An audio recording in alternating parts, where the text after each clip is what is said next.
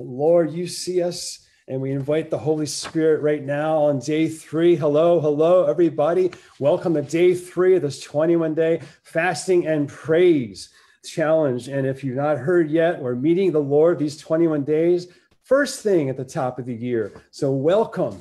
You're in a brand new year. Today is January 3rd. So, we're on day three, and that is Come to the Well. Congratulations on making it this far. This is a wise decision to prioritize your time and pursue the wisdom of God into a brand new year. Praise the Lord. Thank you, Vanessa, for jumping on. Amen. I don't understand that either. I'll get it fixed today. Technical difficulties in Jesus' name go away. But we're giving God this 15 to 30 minutes daily, maybe more, and we're going to pursue Him. And say this with me say, I'm going to put first God. Amen. I'm going to put first God, put him first this year. And so we know when we just when we decide to draw close to God, guess what the promise is? He's going to draw close to us, right? And so this month we're engaging him. And so, God, we just thank you now. But by day 21, you don't know what's happening, but by day 21, I promise you're going to look back and you're going to be wooed by what God has done in your life. If you hadn't already done so, grab your communion elements because we're going to be doing communion daily. to remember and bring back to mind what Jesus did at Calvary to reinforce our victory. And yes, and put to shame our enemies.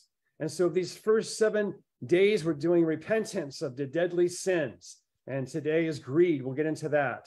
To say enough is enough, right? That we uh, we're tired of Satan and his demons, and they cannot oppress us any longer. And so we're taking a stand and we're igniting a shift. It's a holy shift. Also, please share this video with your friends and family. Invite others to this wonderful way of kicking off 2023 to seek wisdom, counsel, understanding, to set our courses right for 2023. Now, if you recall, we explained about the Z factor in my book that is new 21 Days of Fasting and Praise. If you haven't got it, you can download it online or just tag me and I'll send you a copy. I sent Vanessa 10 copies to Kansas. I can send you more too. But the Z factor is the special ingredient that's found deep in your core, okay? It's the warrior bride who is partially laying dormant right now, waiting to be unleashed. It's the pizzazz that Phineas had in the book of Numbers when he stopped the plague, right? And the Lord said he was zealous for God's honor. Just like when young King David slew off Goliath's head. Remember what he said? He was zealous for God's honor. And he said, How dare you mock my God? And that's what the Lord is looking for some people who are zealous for God's honor. And how do we show that? Well, first, loving what he loves and hating what he hates. Amen.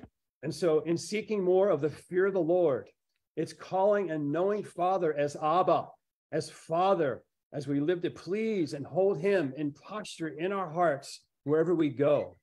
Here's perhaps the most endearing part of being zealous for God that I'm discovering at almost 60 years old. And that is God's honor is the fact that he sent his one and only son, Christ Jesus, who he loved us enough to die for us. Let's put that in perspective just for a moment before we get started. This is the uncreated God of the universe who knows every star and planet by name, right? He created everything under the sea and in the sea and holds it all together, right? And then he gave us life and knew in advance that we would bite the apple and sin came. And knowing in advance that he would have to send his only beloved son, folks, that in and of itself should make us weep and tremble that the living God put his life on the line for us. And folks, so here's the way I've been making this knowing Jesus more of a reality in my life experience. I'm almost 60 years old, like I said, on planet Earth. I'm just beginning to scratch the surface of walking moment by moment with Him. I'm only ankle deep in this. And I wake up at night sometimes and I meditate on Him at three in the morning. But I'm just starting to live my life as if. What is as if? I'm not boasting here, I'm just getting real. As if. What do I mean by that? It's this it's a simple idea, but manifesting it is another.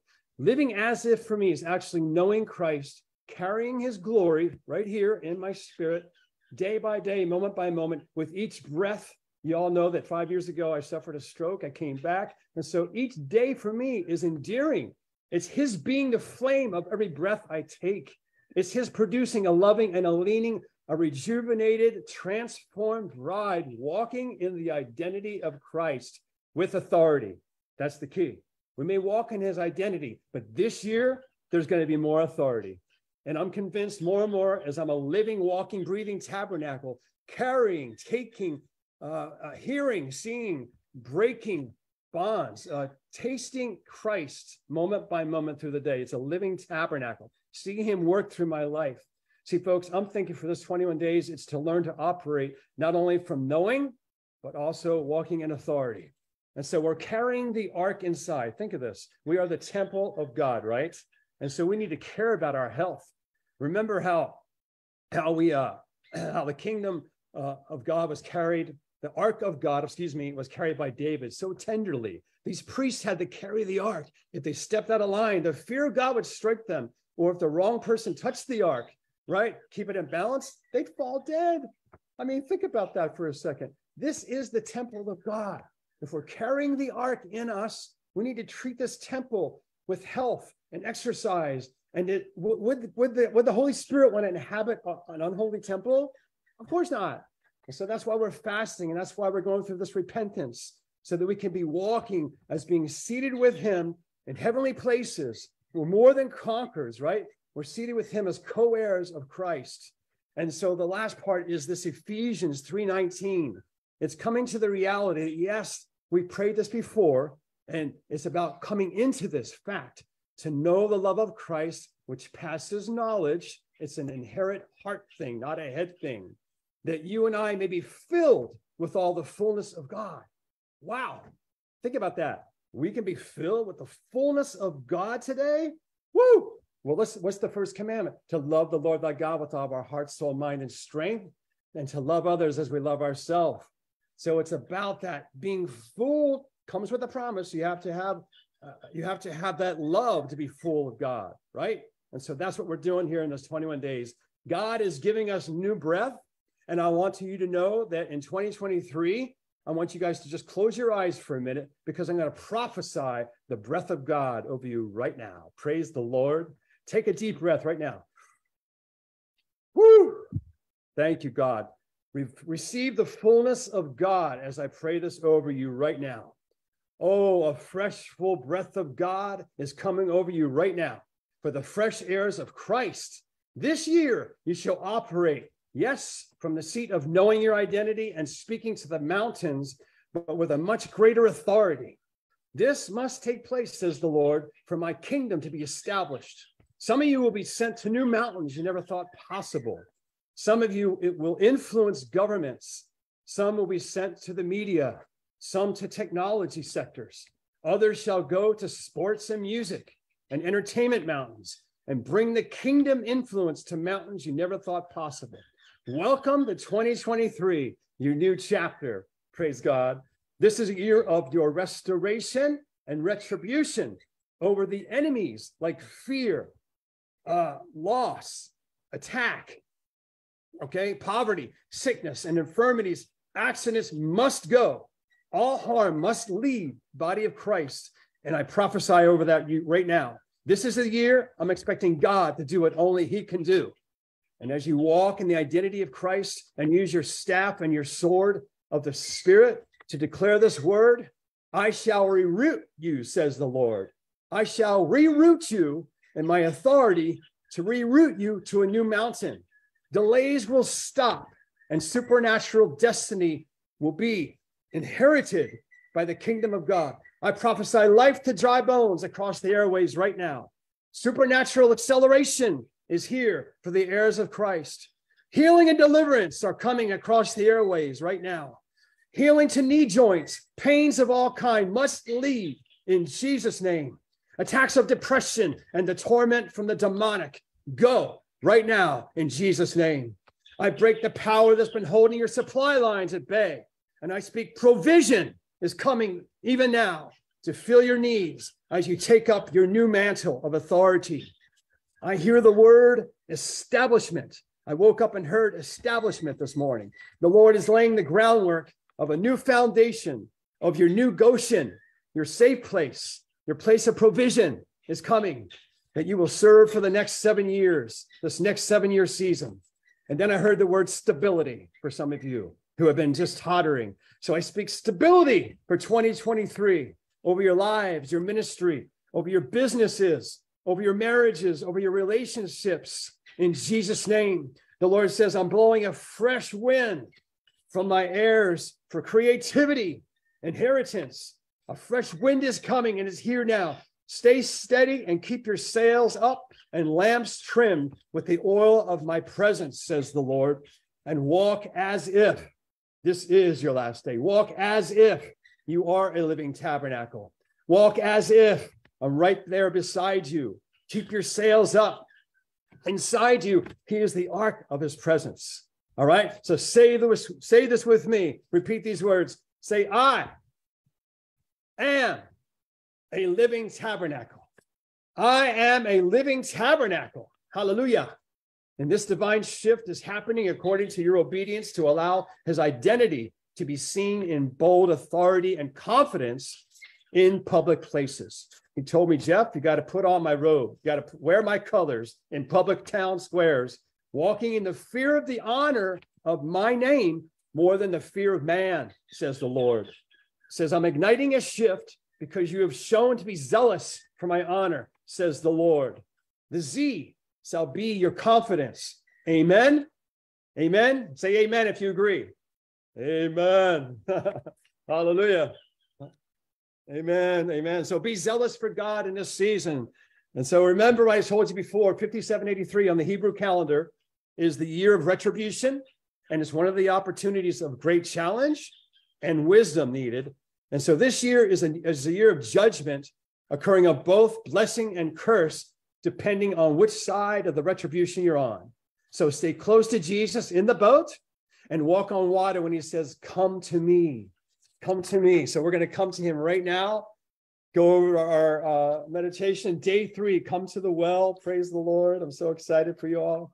Again, why are we fasting? Why are we fasting food or social media or uh, too much talking. Some of you chose a Daniel fast. Some of you chose to not spend as much money these 21 days. That's fine. Whatever your fast is, let it be. But it's here in Titus 2:11 and 14. Let me read this.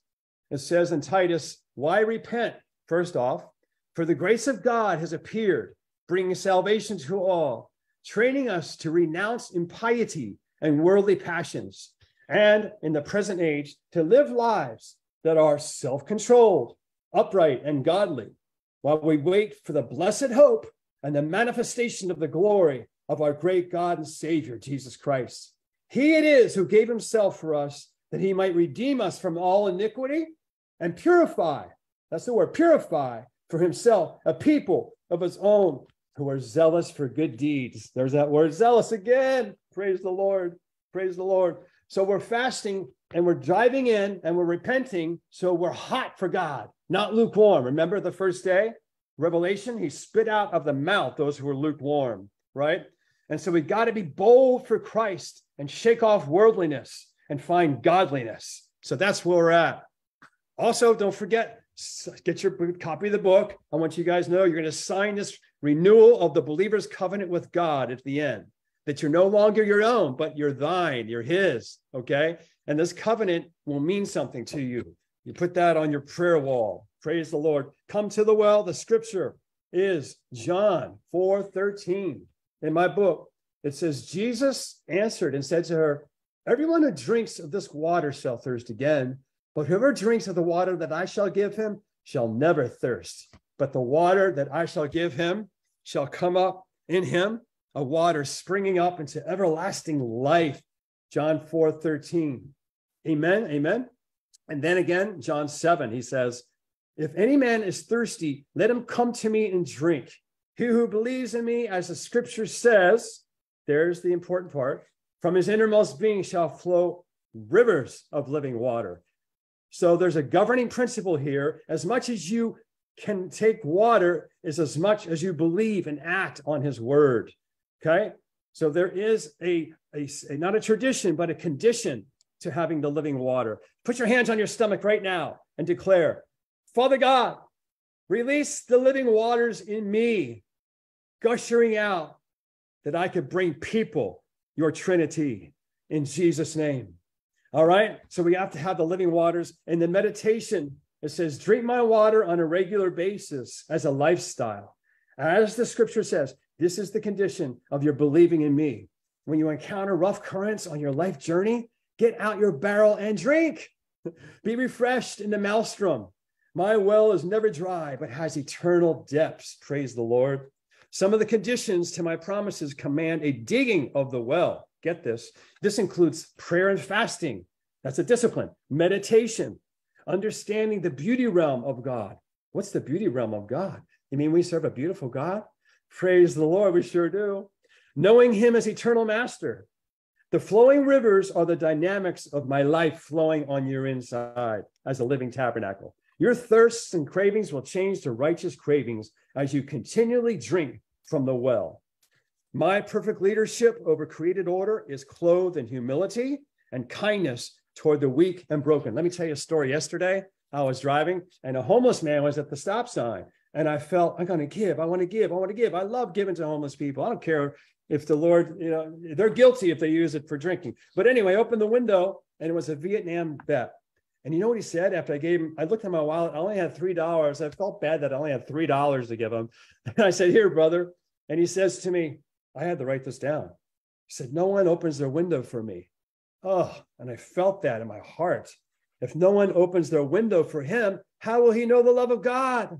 Jesus. And so I wish I had more, but I did give him Jesus, and that was awesome. So as you go through the day, just slow down and look where God is leading you and introspect in yourself and just be free to be compassionate and give to those who have less than you. That's why our word today is greed. So let's move into our introspection. The desire for material wealth or gain over living the spiritual lifestyle is greed. It's covetousness, right? To follow what the material world has. And so, God, we just thank you for your word. Do you find yourself always wanting more? Okay. Material things will not bring peace in this life. My son and Baylor, his wife, said it at church the other day. They said, Look, if we die today, we'll be in heaven. We've already won. The race is already secure. Praise the Lord. But James and Baylor, they've had the house, they've had the, the rover and material things, and it doesn't fill. You all know that. Amen. And so it asks here, where can you develop more charity and selfless love toward your time with me? All right. So if we are loving the world as we love ourselves, right? If you are ill and at the hospital, what you want to be prayed for? In fact, oh my gosh, I don't know if you guys heard this last night, the Monday night football game. Damar Hamlin, a 24 year old, at 8:55 p.m. He fell on the field, cardiac arrest. They canceled the game. This is like one of the first times this ever happened. And I just walked by the TV. I don't usually watch Monday Night Football, but it was on. And Jody was watching church in bed, the Buffalo Bills game. They ceased it. And uh, they were interviewing, and they said they've never seen this type of emotion on the field before. The players were praying in a huddle, and it was like God showed up. He showed up. So right now, let's just go to prayer for Damar Hamlin. He right now is in, in critical condition in the hospital. So just lift up your hands and say, God of heaven, restore Damar Hamlin's heart. God, bring him out of this cardiac arrest, this critical condition, that you will be glorified in this now. We evict Satan's works, and we want to see the TV exclaim, Jesus glorified that no other explanation could be that it was prayer that woke him up. In Jesus' name we pray. Hallelujah. Hallelujah. Hallelujah. Okay, let's go ahead now into our communion time. Get your bread. Get your bread. And so, oh, the last part of this, praise God, as we take our bread, I'm just so excited.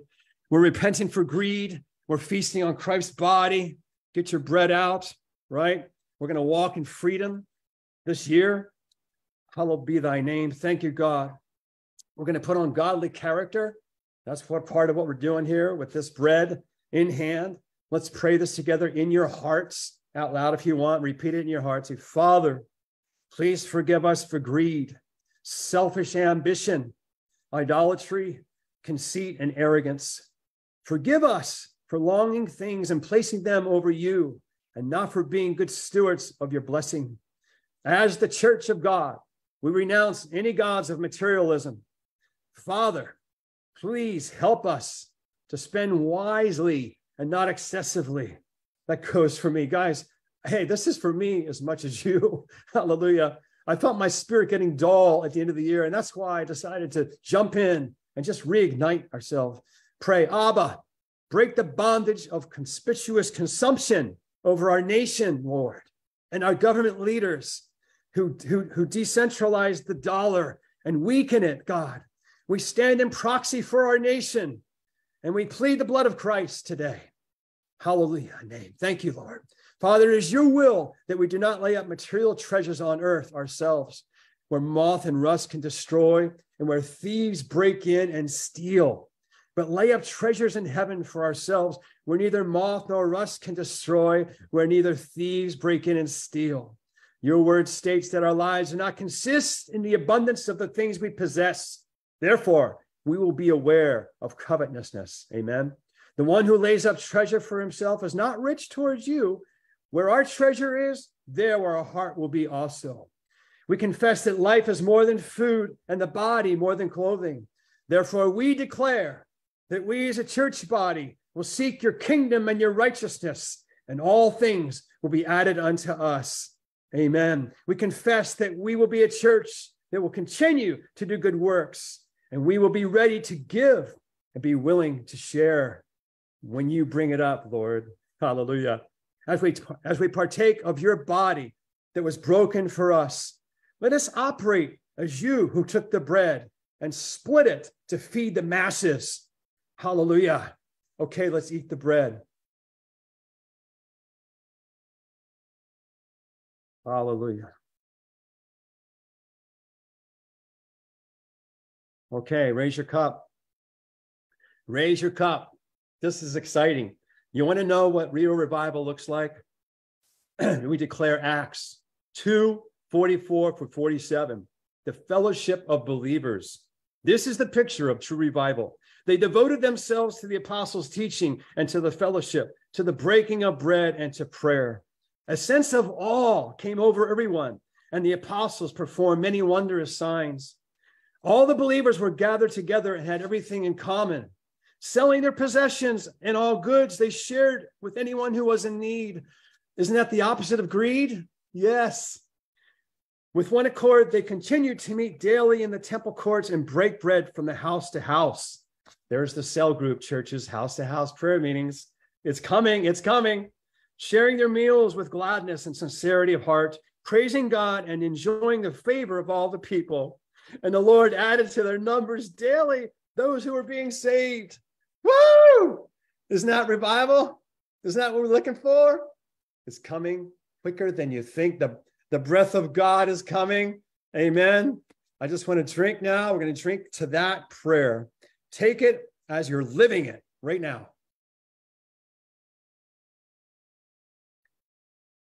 As much as we do this, we remember Christ Almighty. Thank you, Jesus. Thank you, Holy Spirit, I want to end with a declaration that you all can share. These declarations are words that bring power into your life. This is not just reciting a cantation. These are the words of God that bring life, and He is the Word, and your Word is in, in you. We're living tabernacles, right?